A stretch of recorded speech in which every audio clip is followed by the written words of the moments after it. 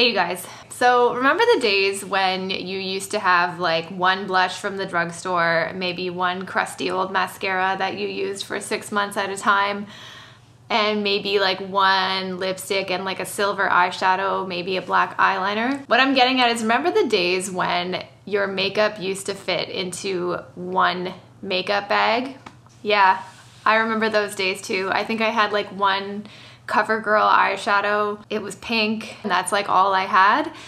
And now I have a drawer full of makeup that I almost never wear that I bought on impulse. And it's time to declutter. I have done a makeup declutter before on my channel. I'll link it in the cards somewhere here before, but um, I decided to do that makeup declutter because I was so overwhelmed with the amount of crap that I had accumulated. If you're new to my channel, my name's Christina and I am a shopping addict. I am a recovering shopping addict and I'm also going through a low buy year in order to pay off a student debt that I essentially ignored for the past few years because of my shopping habits and my shopping addiction. So I will leave a bunch of videos down there below for you if you're interested in following along with me um, with that. But part of my vices in terms of my shopping addiction was makeup.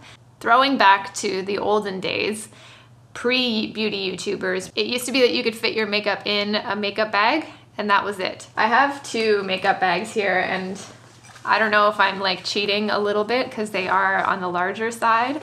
I have this one from Sephora, which I kind of like. It's got a bunch of like different, can you see that? Like storage systems here. It's got spots for brushes or I will probably fit it in this one and it's got a lot of room in there. So I am going to whittle down my makeup drawer, go through everything I have, and I'm going to whittle down my entire makeup collection, including brushes, including tools, to fit into one of these two makeup bags. Just editing down my stuff pile ultimately just makes me feel better, makes my mind feel more at ease, makes me feel less cluttered. I'm missing the old days from high school when all my stuff used to fit in just one makeup bag, so let's bring that back.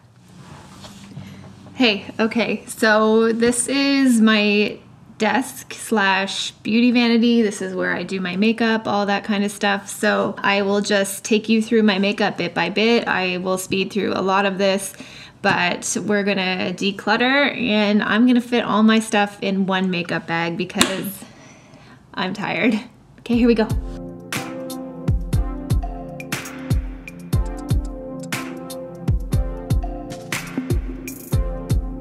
These are all of my foundation face products primers. Um, some of these are very, very old. I'm just gonna go through each one to see what I'm actually using, which actually, to be honest, is not that much. So out of the things that I really like, so this is the Chanel Perfection Lumiere Velvet foundation. The other thing I want to start doing is going um, cruelty free for everything. I don't think Chanel is cruelty free. I really like it, but it's not cruelty free that I'm aware of, and it's like long since expired, so I'm gonna probably get rid of it. Same with the Charlotte Tilbury. She is cruelty free and I really, really like her formula. I find that the Light Wonder though, the Light Wonder foundation, it sticks to the dry patches on my skin quite a lot and this is expired AF, so I'm gonna get rid of this. I have the two Glossier Perfecting Skin Tint in medium and in light. I don't know how, if you can see how they're like stuck on here and separating. These are really, really old and I am pretty sure Glossier reformulated them. Long since expired, starting to separate, don't really use it, so toss.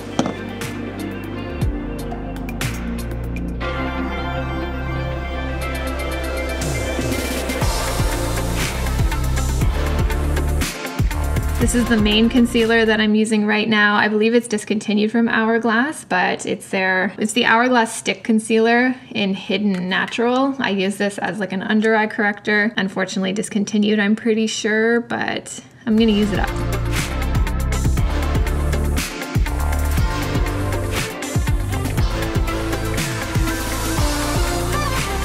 This is the face base makeup pile, not bad. And then I'll show you everything of what we're gonna toss at the end, but this is a pretty good cull, I think. We're still gonna whittle this down even more though if it doesn't fit in the makeup bag. Moving on to cream. Highlighters, this is gonna be tough as well. I don't feel like much will get called here, but I gotta be ruthless.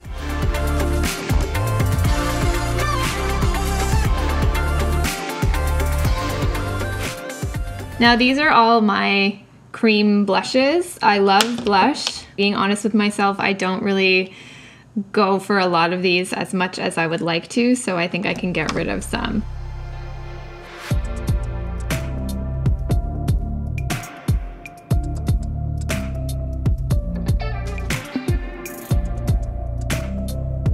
I thought it was pronounced Kajar Weiss, but it's Kjaer Weis.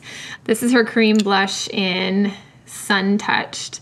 So I really like this blush. I get a lot of compliments on it when I do wear it. And the nice thing about her packaging is this is all reusable. So you just buy the refill and you can reuse this packaging over and over and over again. A lot of her stuff, it's like plant-based, cruelty-free. It's really, really nice. It feels substantial too. Like the packaging feels really heavy and beautiful. I really like this. I want to use it more. So I'm going to hold on to it.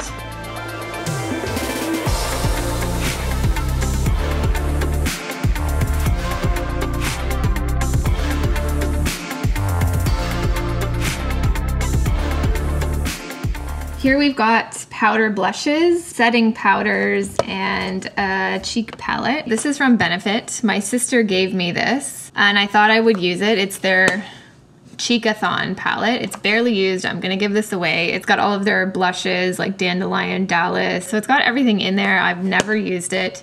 Neither did she. I'm gonna give this away to somebody because it's big, it's bulky, and I don't ever go for it.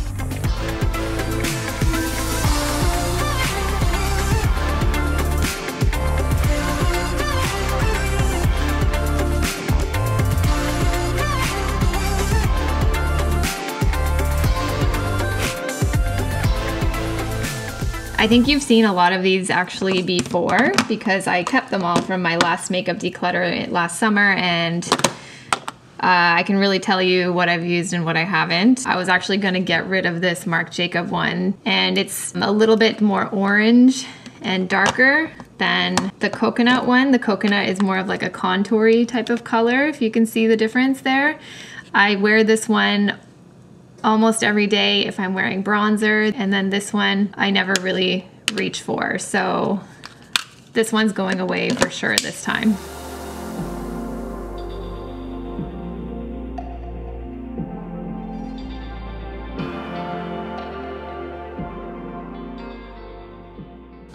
I don't really wear a lot of eyeshadow. My eyeshadow collection is not very big, but I can tell you right away, I know what I'm keeping and I know what I'm getting rid of.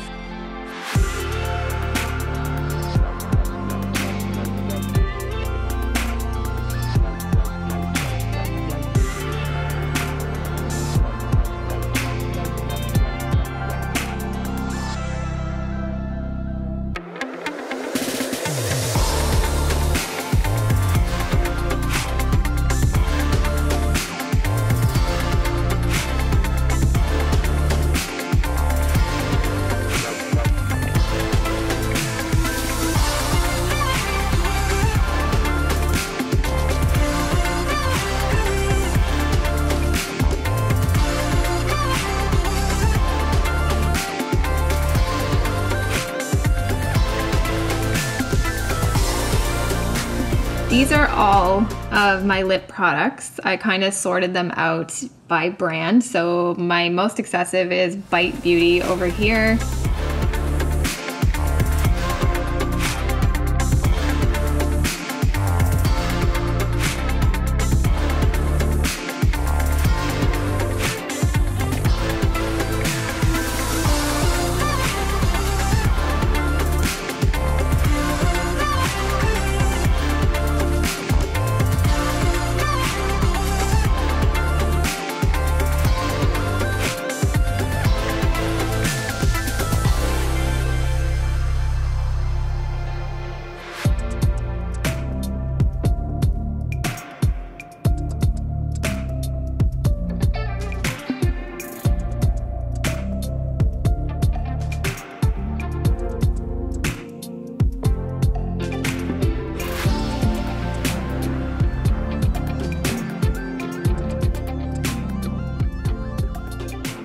Okay, so this is all the stuff that I want to keep.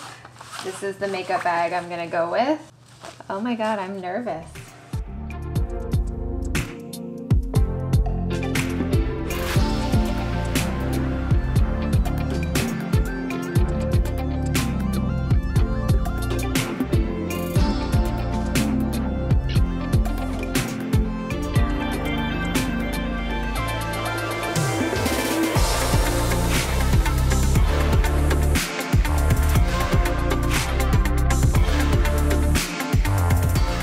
So uh, I did it. I chose this makeup bag. This one I think is a little bit more generous in size than the other one that I showed you. And I also shoved in a bunch of my makeup brushes that I also decluttered off of camera because I don't need a million makeup brushes. So this is it. Um, I was able to fit most of everything I wanted. Other things I wasn't able to fit in there, like the maybes. I think I might be able to if I kind of like sit on this and shove it closed, but that's not the point. And I even think, like if you see in the back, in the footage, um, the fast forward footage, I was like struggling to, to even get what I wanted in there, in there anyway. So to me, that just suggests that I was having trouble letting go of things and I still even am having trouble letting go of things because I still see a huge pile of stuff over here, which I'll show you that I'm kind of feeling sad about parting with. I know I don't necessarily have to. This is a challenge that I'm doing for myself. I'm trying to minimize the amount of stuff that I have and at the same time trying to maximize the usage of the things that I am choosing to keep. So what it suggests to me, although I'm sad and like uh, you know, afraid to let go of, of these items that didn't necessarily fit in here.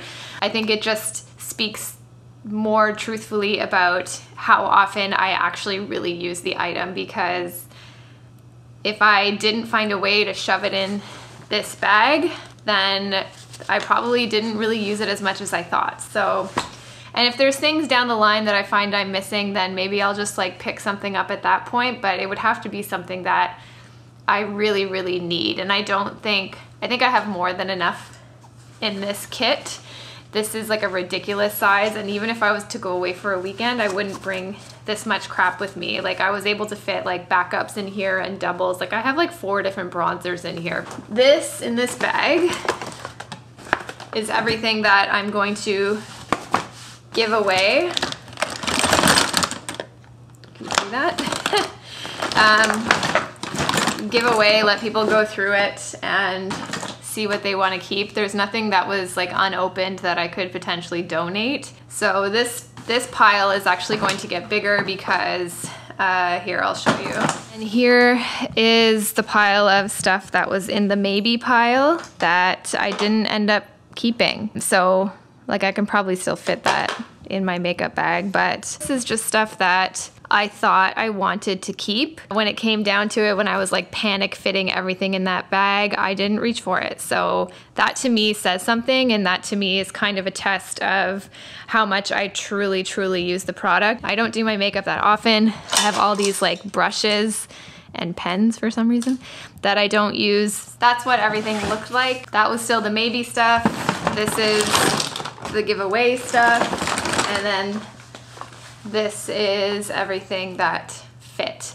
I think this is something that we can all try to do. Maybe we can make it a thing like hashtag one makeup bag makeup, I don't know. I feel like that makeup bag is still kind of cheating because it's still pretty big. It's not definitely not the same size as the one that I used in high school, but I think it's a good start. I think now that I've whittled my makeup collection down even further, I will really truly see how often I'm using what. That way it's just another jumping point for me to sort of evaluate what I'm using and what I'm not. Let me know if you like this video. Let me know if you have been thinking about challenging yourself in minimizing your makeup collection. Doesn't have to be in one single makeup bag going old school style but let me know if you've at least thought about it or if you've thought about decluttering your makeup just going through your stuff forces you to think about it forces you to look at where you put your money and where you decided to spend it. And I think at the very least, it'll make you just evaluate what you have and what you need to get rid of. I think one of the challenges was I was starting to feel attached to certain things or thinking about how much money I spent on certain things, and that money is long gone. Now it's a question of am I actually going to use this or not? And if I'm not, then it's gotta go. Like there's no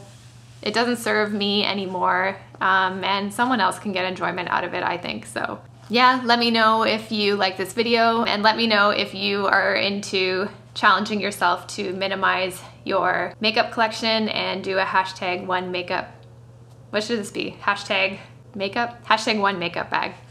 I really do challenge you to go through your stuff, minimize what you're not using and to use what you have. I hope you guys like this video and I'll see you guys in the next one. Bye.